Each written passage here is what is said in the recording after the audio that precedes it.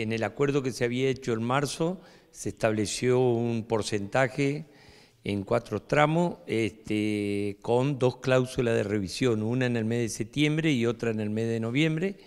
Y en función del impacto que está generando la inflación y como estaba la revisión del mes de septiembre, es que la bancaria ha pedido al Ministerio de Trabajo que se convoque a la Cámara Empresaria y actualizar esto para que tenga un equilibrio con relación a la inflación que va en este momento. ¿no?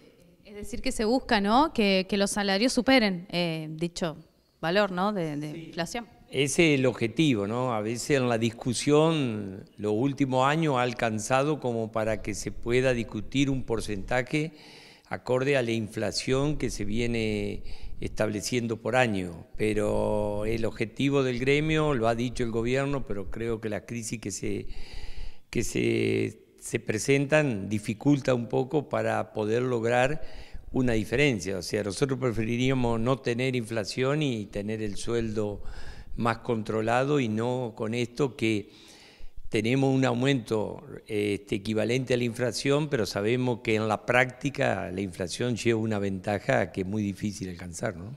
¿Qué porcentaje se acordó y qué es lo que se pretende? Y nosotros acordamos un 60% en cuatro tramos, todavía falta un 9% del mes de octubre, la bancaria está pretendiendo, seguramente en la negociación lo va a llevar a cabo, de que se adelante ese 9% al mes de septiembre y después establecer un porcentaje en función de la inflación estimada para estos cuatro meses que restan, ¿no? porque por más que baje un poco, está calculado de acuerdo a lo que han proyectado los distintos sectores, este, de que la inflación va a rondar arriba del 80%. Bueno, la bancaria lo que pretende es que no haya una pérdida del poder adquisitivo y llegar a esos porcentajes este, de manera eh, programada, pero terminar el año con eh, por lo menos el sueldo equivalente a la inflación que hubo durante el año.